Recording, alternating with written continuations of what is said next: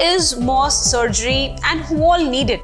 Now, Mohs surgery is a precise surgical technique used to treat skin cancer.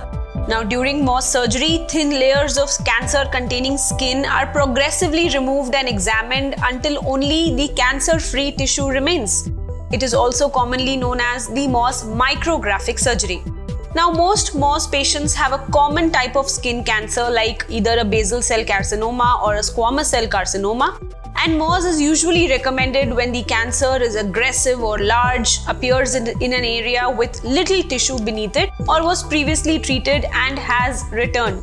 Hello and welcome to Medical Dialogues Journal Club, your daily dose of health and medical news. I am Dr. Nandita Mohan and I will be talking about the post-operative complications of Mohs surgery. Tranexamic acid is only approved by the US Food and Drug Administration as an oral formulation for menorrhagia in women and as a short-term preventative measure for hemophilia.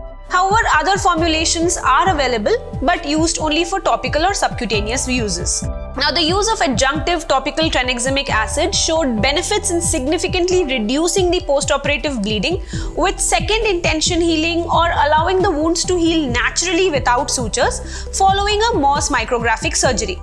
The findings suggest that topical tranexamic acid application is an inexpensive and easy topical preventive measure to consider adding to the wound care of granulation defects in the setting of Mohs micrographic surgery.